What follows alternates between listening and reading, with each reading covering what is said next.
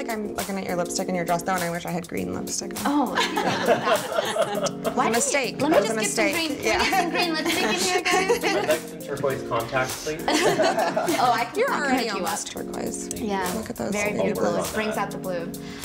Well, thank you guys for coming. Um, I think we have here Arnold Palmer, right? His drink. Arnold Palmer. Yes, bro. Arnold Palmer. Palmer, Palmer. So it's tradition for us to cheers. Oh, so great. let's cheers. Look at me in the eye and cheers. Yeah, we have to look Right each other in the hug. eyes. It's very creepy, and we like it like that. Cheers. Cheers, Daven. Cheers. Cheers. Quickly. Cheers. Cheers. Cheers. Cheers. A drink connoisseur, right? I Besides, try, I besides try. being a drink connoisseur, Jane, I know that you run a website, Yep. An amazing blog. Called the Hairpin. Yep. Yeah. And how did you Um, get started on it? Well, uh, my friend Edith Zimmerman started it a couple years ago, and it's just like a general interest, fun blog, mainly aimed at women, but we talk about all kinds of stuff. Mm-hmm. Um, Does Hairpin make videos as well? yep. Yeah. Oh. I do beauty Q and A. Is this on videos. YouTube? It's on YouTube and Vimeo. Yeah. It's in our world. yeah. Absolutely. Yeah. Online. We're plugged in. Mine are super basic though. You guys, I, mine Fred, are like button. if you're in your you know 20s or 30s and you've never worn makeup before, but Mm-hmm. you're a little bit curious. That's kind of like my audience. When did you start wearing makeup?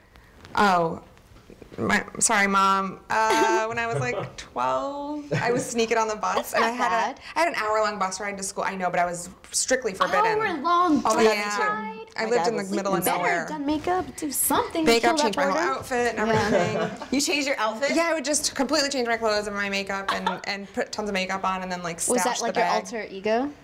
It was thing, who I really wanted to be. It's, it's it's like it was kind of like your way of expressing yourself. right? Exactly. Makeup and fashion. yeah, I yeah. love it. It's always been like What were you more into, fashion or makeup?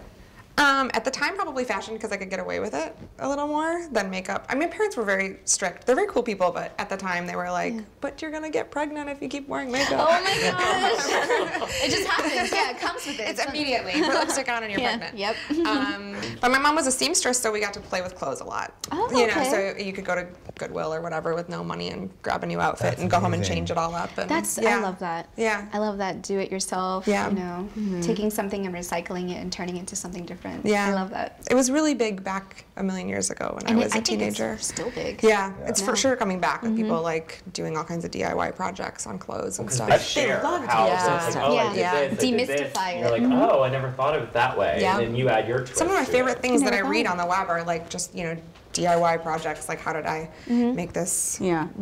Skirt I saw at Fashion Week or whatever. I get whatever? manic. my I'm like, I have to do it now.